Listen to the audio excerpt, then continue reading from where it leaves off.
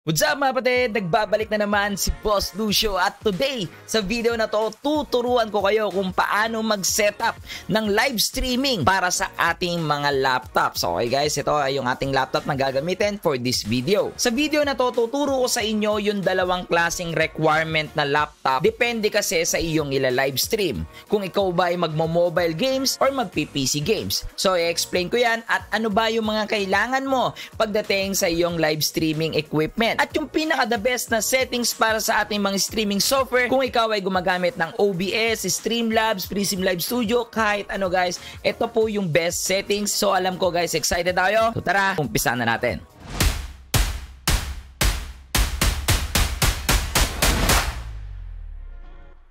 So again, patuloy ko pong ipopromote sa inyo yung aking small business, my clothing line, Unrated Project. Ito po siya guys, yung suot natin. So mga patid, check nyo po ito.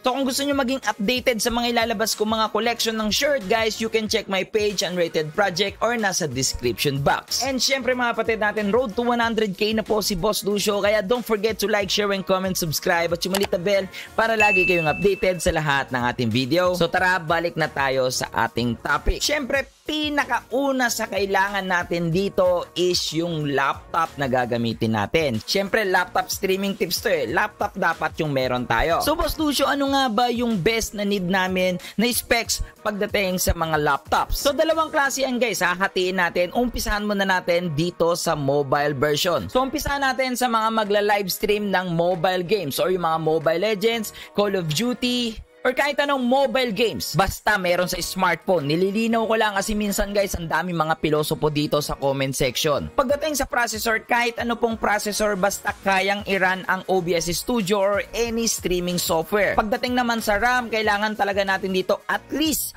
8 to 16 GB ng RAM guys para sa multitasking. At pagdating naman sa graphics card, kahit po wala na. Mas maganda guys kung ang pipiliin ninyong processor is AMD na dahil meron na tong integrated na GPU. So para sa akin guys, yun yung mas maganda pagdating sa usapang walang graphics card. So mamaya i-explain ko sa inyo kung bakit hindi na kailangan ng graphics card pagdating sa mobile games. Next naman natin is for PC games or yung mga naglalaro ng Valorant, Warzone guys. Kung laptop lang ang gamit ninyo, ito ang mga requirement. Siyempre mga patid, yung kayang i-run yung lalaruin ninyong games. Pangalawa dito guys, yung kayang mag-run ng multiple application like the games na lalaruin mo at yung streaming software ng sabay. So in short, you need a decent processor. So recommended ko talaga dito guys is yung mga latest, the Ryzen 5 5000 series or any 5000 series pagdating sa AMD and pagdating naman sa Intel, it's around 7th gen pataas. So yun yung mga recommend ko guys pagdating sa laptop. Pagdating naman sa RAM, same pa rin, 8 to 16 GB of RAM is good na. And syempre guys, dahil PC games ito, you need a decent graphics card. At least 1660 Super pataas or 20 series or 30 series ng RTX. So Boss Lucio, pasok dito yung aking laptop para sa mga gusto kong gawin para sa live streaming. So ngayon, ang next natin, ano naman ang kailangan mo? May kailangan ka pa? Yes guys, syempre this is streaming. You need a streaming equipment at yung mga device guys para mo umandar ng maayos or maging smooth ang yung live streaming. So umpisahan natin dito sa mobile streaming. Syempre unang-una dyan ang ating mga webcam guys. Importante yung webcam. Hindi ko talaga nire-recommend yung webcam or yung naka-built-in na webcam sa laptop. At yung mga bagong laptop ngayon guys, wala na mga webcam. Pangalawa, it's microphone. It's up to you na lang guys kung magkano pa yung budget mo. If you want to buy a decent microphone guys or budget microphone. Pero yung gagamitin natin for this video is budget.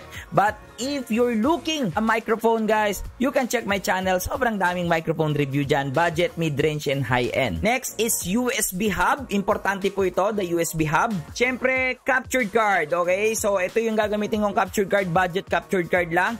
But if you have a budget, mga patid, you can check my channel also. I have so many review on captured card, especially sa dalawang brand na high-end, the Elgato and the Avermedia.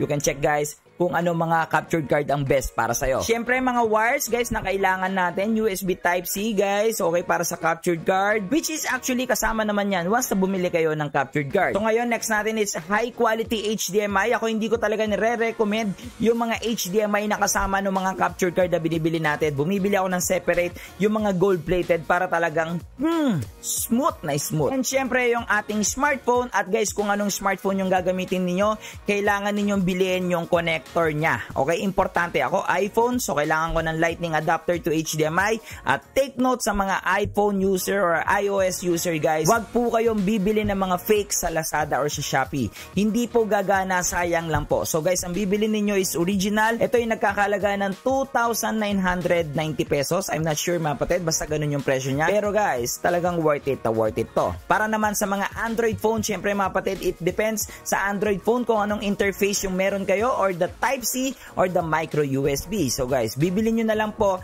yung merong mga HDMI. Kagaya po niyan guys, okay? HDMI. So next naman natin para sa mga PC games. So kailangan mo pa rin ng webcam. Kailangan mo pa rin ng microphone. And kailangan mo pa rin ng USB hub. And kailangan mo ng extra monitor. Yes, dahil laptop, isa lang ang monitor. Once na naglaro ka, hindi mo na makikita dito yung mga ibang umaandar sa apps mo. Pero ito guys, recommended lang kung ikaw ay medyo magaling sa multitasking using the alt tab or use your smartphone to look your comment section guys po pwede naman. Pero recommended ko talaga is may extra monitor ka. Hindi ko naman po sinabi dito na you need to buy ang mamahaling monitor. Kahit po yung mga second hand o yung mga luma na na maliliit na monitor guys, ang importante lang eh meron kang pang monitor sa mga comment section, sa OBS or whatsoever na umaandar sa yung live streaming habang ikaw ay naglalaro. Ngayon, punta na tayo sa installation. Paano nga ba mag-setup ng live streaming? So, umpisa natin sa mobile games. So first, syempre kunin muna natin dito yung ating USB hub dahil hindi lahat ng laptop ay maraming mga USB slot. That's why you need a USB hub. So once na na-plug mo na yan, kunin naman natin dito yung ating microphone. So microphone dyan, plug in here, your webcam, place mo dito somewhere, and syempre, plug in here. So get your captured card and then syempre guys, plug the USB Type-C and lagay mo siya dito. And ito po ay recommended kong i-connect nyo sa main laptop, wag na po sa hub para po wala pong delay. And now, get your HDMI cable, connect the HDMI cable here and connect to your phone. Sa ating captured card, may HDMI out at HDMI in. So make sure na i-connect natin to sa HDMI in. So guys, that's it. Once na connected na ang lahat na to, yes guys, makalat talaga ang pagiging isang live streamer. So kung napansin niyo medyo makalat talaga guys, maraming wires, yan ang mga cons. Okay, pag ikaw ay naging isang streamer, sobrang daming mga wires at equipment na nakakalat kalat sa table. Kaya guys, kung ikaw ay malinis sa table at magaling magtago ng wires, believe ako sa'yo. So once na na-plug in mo na lahat dito yung mga needs mo for your streaming equipment, mag-open na tayo dito ng streaming software. So dito sa streaming software mga patid, umpisa natin dito sa settings. So sa settings guys, ano ba yung best settings Boss Lucio for the laptop? Make sure mga patid na choose custom. Huwag nyo pong pipiliin dito yung Facebook Live. Custom po yung pipiliin ninyo. From the server and the stream key, makikita nyo naman yan sa inyong mga live producer or sa creator studio. So sa output mga patid, make it advanced guys. Change the output mode and then once na advanced ito, choose the NVENC mga patid natin. If you have a GPU but you don't have mga patid, it's okay. Take note, this for mobile streaming lang. Hindi to advisable sa mga PC games yung walang NVENC. Okay? So once na guys na napili ninyo dito yung the best encoder, uncheck the rescale output. And then sa CBR, constant bitrate. And then for the bitrate, mapatid, I have so many blogs about the bitrate. You can check my videos na lang guys or nandyan sa description box. So dahil ako gusto ko HD, so I choose 5000 bitrate and the keyframe interval, make it 2. And then guys, the preset, make it max quality and then high. Uncheck the look ahead and then uncheck the psycho tuning and the GPU. Isa lang ang GPU natin and then max B frame 2. Next is for the video. Okay, sa video guys, it's up to you. Pwede nyo piliin dito guys yung mga custom resolution. Basta mapatid natin, make sure yung aspect ratio is tama. Again, related naman sa aspect ratio, how to change your aspect ratio or custom resolution. I have so many vlogs na rin and meron ako recent upload mapatid na mas maiintindihan nyo, you can check na lang. So guys, sa downscale filter, I choose 36 samples and 60 FPS. Click apply and then okay. So ngayon, punta tayo sa source. Right click here. Add tayo dito guys ng ating video capture device. So guys, lagay natin dito webcam. And once you okay, choose the webcam. Ako gamit ko po is HD webcam, okay? So meron na rin akong vlog dyan guys. One of the budget webcam guys na marerecommend ko na sa halagang 500 pesos may ganyan ka nakakalinaw na quality. So guys, once you okay, down lang natin ng onte. Piliin po natin dito guys yung custom resolution and then guys choose the max resolution ng inyong webcam. Recommended yan para mas uh, malinaw. And the FPS guys, use the highest FPS and then click OK. So now you need to resize your webcam. It's up to you. Hence sa streaming layout, and webcam overlay, kayo na rin po ang bahala. Pero baka naghahanap ka ng mga high animated streaming overlay or gusto mo yung talagang kakaiba at solid. Saktong-sakto ka dahil this video is sponsor ni Own.tv. Sa Own.tv, nandito na ang lahat ng needs mo kung ikaw ay streamer or content creator. Pwede kang gumawa ng sarili mo dito mga badges or avatar. May mga iba't ibang overlays din para sa different platform and ang lahat ng klase ng template eh meron dito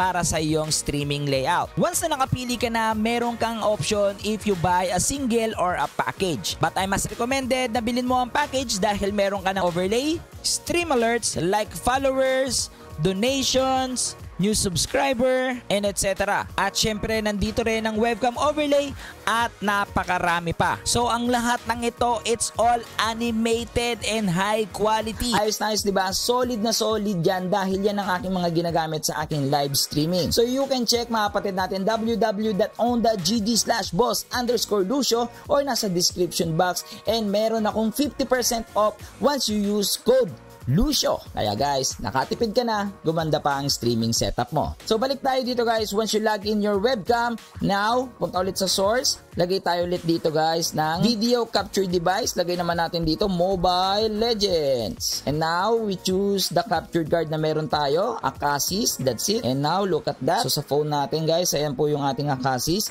Yan po yung advantage ng captured card. Wala pong delay at guys, sobrang smooth. So hold Alt para sa ating crafting So, ikakrop lang natin siya para matanggal yung mga black bars. So, once na okay, place nyo lang siya dyan.